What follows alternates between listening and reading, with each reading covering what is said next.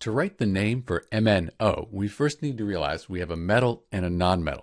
So when we have a metal and a nonmetal, we're going to treat this as an ionic compound. Specifically, we have just two different elements, so it'll be a binary ionic compound, and we'll use these rules here. First, we'll write the name of the metal as it appears on the periodic table. Mn, that's manganese. Next, we'll write the name of the nonmetal as it appears on the periodic table, replace the ending with IDE. So we have oxygen, and we're going to replace this with IDE.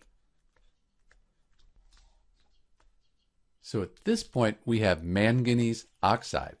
But Mn, manganese, that's a transition metal. It can have a different charge depending on what it's bonded to. Here it's bonded to the oxygen. So if we went to the periodic table, we looked up oxygen.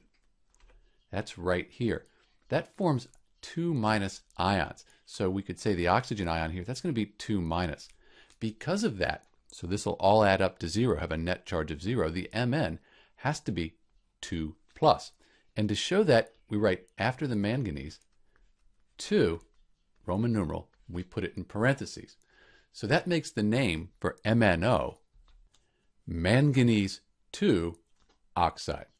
This is Dr. B with the name for MnO, manganese 2 oxide. Thanks for watching.